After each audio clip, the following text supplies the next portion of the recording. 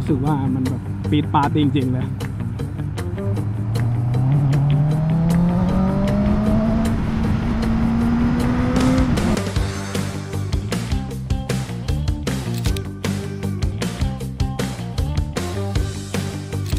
แล้วก็การเปลี่ยนเกียร์นี่จะแบบกรึบกรับกรึบกรับรู้สึกได้ถึงความนุ่มนวลนะครับ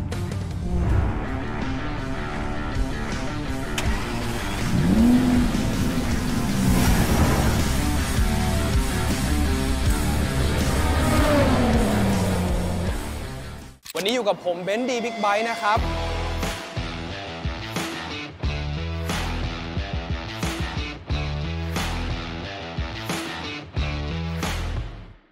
สำหรับใครที่สนใจบิ๊กไบค์หรือว่ากำลังใช้อยู่เป็นชีวิตประจำวัน หรือว่ามีแผนที่กำลังจะซื้อในอนาคตนะครับ วันนี้ผมมีข้อมูลเกี่ยวกับน้ำมันเครื่องที่จะมาป้ายยาให้ทุกคนชม ซึ่งเป็นน้ำมันเครื่องที่เหมาะสมกับบิ๊กไบค์โดยเฉพาะ 650 cc เป็นต้นไปนะครับ ว่าเราควรเลือกใช้ประเภทไหน เกรดไหน มีมาตรฐานอะไรรองรับบ้าง มาชมกันในคลิปนี้เลยครับ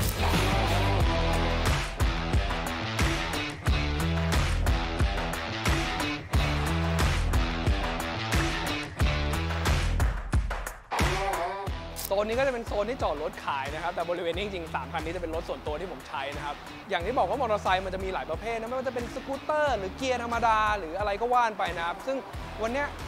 อย่างที่บอกว่าเดี๋ยวเราจะมาเปลี่ยนในส่วนของตัวน้ำมันเครื่องกัน ซึ่งน้ำมันเครื่องตัวที่ผมแนะนำเลยเนี่ยจะเป็นน้ำมันเครื่องที่เหมาะกับรถจักรยานยนต์เกียร์ธรรมดานะครับ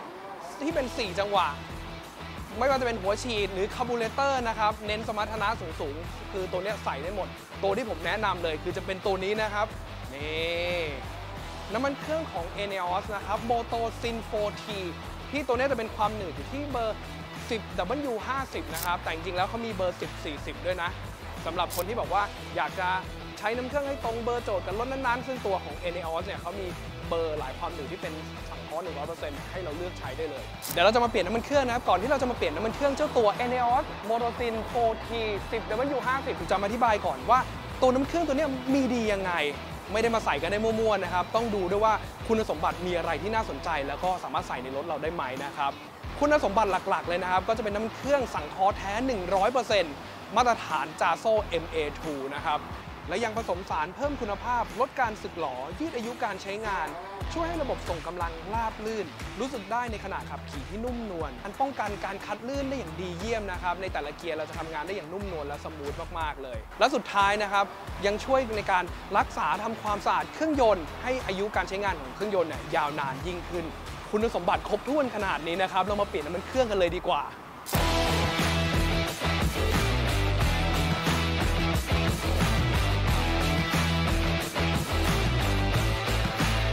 ก็เดี๋ยวจะไปลองขี่กันนะครับ เพราะว่าเพิ่งเปลี่ยนน้ำมันเครื่องเสร็จเนี่ย เดี๋ยวอยากรู้ว่า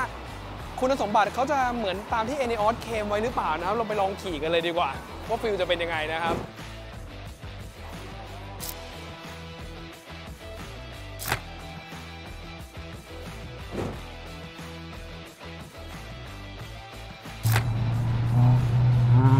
มาลองน้ำมันเครื่องนะนี่ผมวอร์มจนอุณหภูมิ น้ำหล่อเย็นมันปกติแล้วนะครับ แต่ดูว่าจะมีขึ้นขึ้นลงลงไหมนะ ซึ่งอยากบอกว่าเมื่อกี้ตอนสตาร์ทรถเนี่ยเครื่องนุ่มเลยนะครับ แล้วก็การเปลี่ยนเกียร์เนี่ยจะแบบกรึบกรับกรึบกรับรู้สึกได้ถึงความนุ่มนวลนะครับก็ต้องยกความดีความชอบแหละ ด้วยความที่เป็นน้ำมันเครื่องสังเคราะห์แท้ 100%เลยนะครับ ของ n a o s แต่รอโล่งๆเดี๋ยวผมขอซัดดูสักทีหนึ่งนะว่า ความร้อนจะเป็นไงแล้วก็อัตราเร่งจะเป็นยังไงนะครับรู้สึกว่ามันแบบ ปีดปาดจริงๆเลย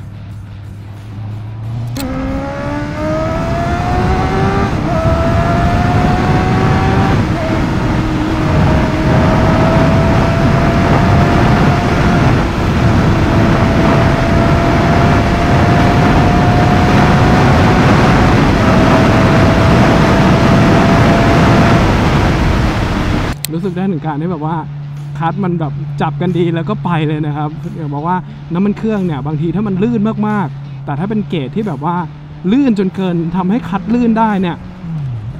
มันก็จะทำให้เราเสียจังหวะการเร่งนะครับแล้วแผ่นคัดมันจะไหม้ด้วย แต่นี่คือน้ำมันเครื่องลื่น แต่ยังคงความเขาเรียกว่าให้คัดมันจับกันดีอยู่ ก็คือคัดไม่ลื่นนะครับนี่ก็ต้องยกความดีความชอบให้ตัวมาตรฐานจาโซ่ MA2 เลยที่บอกว่าเป็นตัว สารเคลือบคัชนะครับที่ไปเคลือบเจ้าแผ่นคัชเนี่ยเพื่อไม่ให้มันลื่น แต่เรายังได้คุณสมบัติของน้ำมันเครื่องที่ลื่นปื๊ดลื่นปื๊ดแบบนี้อยู่อ่ารอบเครื่องทำงานลื่นไหล แต่คัชไม่ลื่นนะครับเอาง่ายๆเลย แม้กระทั่งจังหวะรถเกียร์เนี่ยก็รู้เลยนะว่าจังหวะเออคัชมันไม่แบบเกิดแรงการทำมันไม่ได้แบบลื่นหรืออะไร แล้วก็อัตราเร่งนี่มาแบบปี๊ดปาดปื๊ดปาดเลยทีเดียว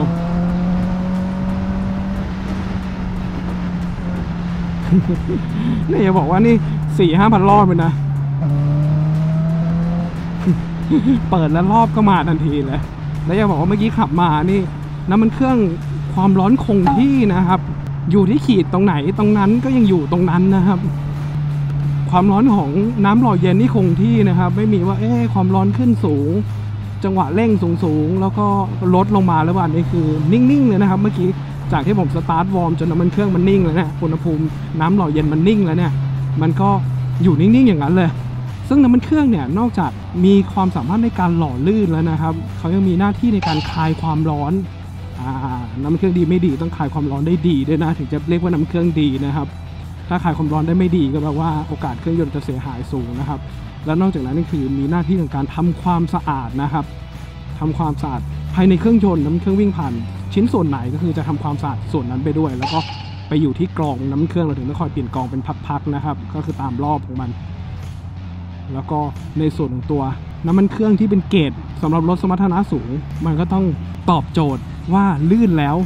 ไม่ทำให้คลัตช์ลื่น ซึ่งนี่ก็เมื่อกี้ลองเร่งยังไง คลัตช์ไม่มีลื่นนะครับ ซึ่งก็สรุปเลยแล้วกันนะครับ ใครที่กำลังมองหาน้ำมันเครื่อง สังเคราะห์แท้ 100%ที่เหมาะกับรถที่มีสมรรถนะสูงๆนะครับ อย่างประเภทบิ๊กไบค์เนี่ย 600 ซีซีเป็นต้นไป หรือจะพันซีซีผมแนะนำเป็นตัว Eneos Motosin 4T 10 W50 ตัวนี้ก็ถือว่าทำงานได้ดี คลายความร้อนได้ดี รถสมรรถนะสูงๆสามารถใส่ได้อย่างสบายเลย ซึ่งเขาก็ยังมีน้ำมันเครื่องอีกเบอร์หนึ่งนะครับ ที่เป็น Eneos Motosin 4T 10 W40 นะครับ ที่ก็อยู่ที่โจทย์เลยว่าเราอยากใช้เบอร์ไหน ทาง Eneos มีทั้งเบอร์ 10 W50 รวมถึง 10 W40 เลย สามารถหาน้ำมันเครื่องของ Eneos ได้ที่ตัวแทนจำหน่าย ใกล้บ้านทั่วประเทศได้เลยนะ หรือว่าติดตามทางเพจ รวมถึง Facebook และเว็บไซต์ของ Eneos Thailand ได้เลยนะครับยังไงฝากติดตามทางเพจ d b i g b y ด้วย รวมถึงเพจ Boxa Racing ด้วย วันนี้เรื่องราวโดยประมาณแล้วยังไงเจอกันใหม่คลิปหน้าครับ สวัสดีครับ